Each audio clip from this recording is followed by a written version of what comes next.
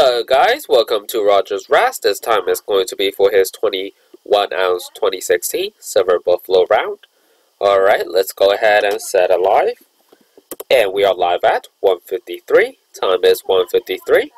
Alright, so we have total of 20 spots. Winner takes all. We have Joe on top and whoops. Joe on top and Harold at spot number 20 go ahead copy this paste it over here. Alright so 20 entries 2 dice 5 or higher and we got 6 and we will start at 154 good luck everyone.